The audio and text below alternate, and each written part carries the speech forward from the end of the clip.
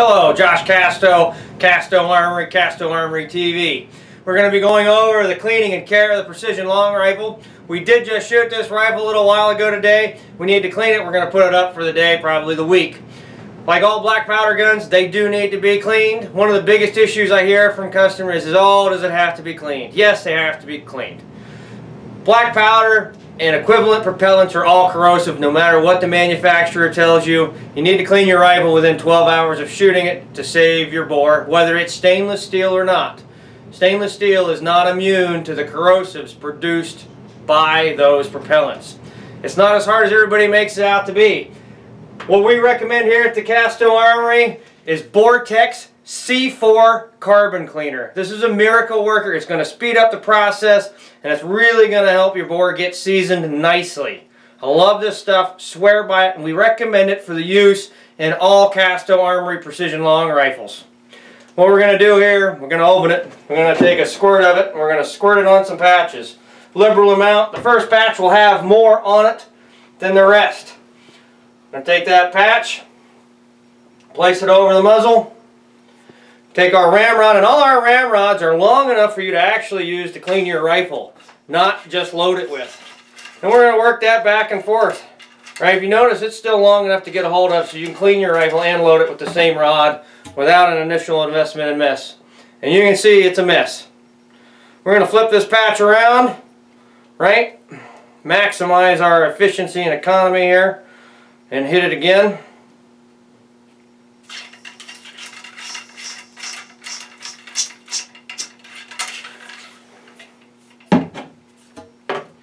Still really cruddy.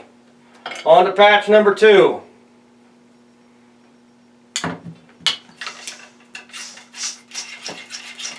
You know, work that back and forth. You can see that it's just a light gray now. We're only on patch number two. So we're getting it pretty clean pretty quickly. This stuff is just amazing. There isn't a better product for this on the market in my opinion. We've been doing this a long time. And you notice it gets cleaner and cleaner every time. So we're at two patches. This is number three.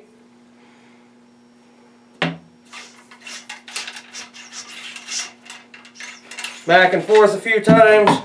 You notice there's just now just the slightest little bit of discoloration on that patch. And we dropped that one, but we'll just grab a fourth one at this point.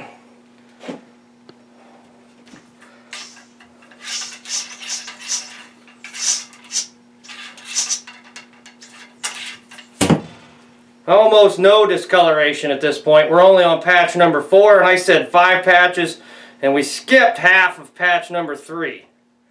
Flip that around. All right, we're about done.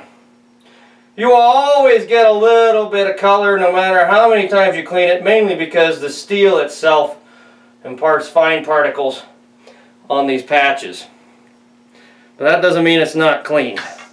Last patch, this is number five. And as you can see,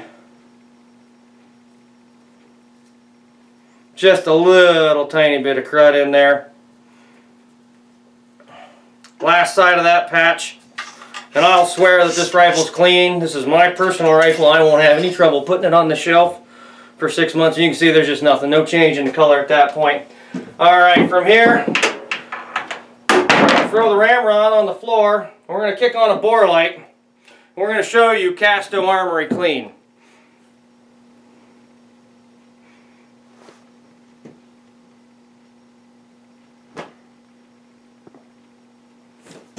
Alright, I hope we got a shot of that. That was a little tough to do. But that rifle is bright, shiny, and brand new on the inside. From there, you'll want to pull your nipple, because we haven't cleaned the breech end yet. If you're going back into the field and you're going to reload it, you probably don't have to pull your nipple, just give it a nice thorough cleaning with a nipple pick. But since this one's going on the shelf or in the gun cabinet for a while, we want to go ahead and pull that. And I actually will not put the nipple back on it for storage. Right, we're just going to leave that out there. clean that. Take a patch. You wipe out your threads, wad it up. Take a Q-tip, ream it down in there real good, get everything all clean. Right?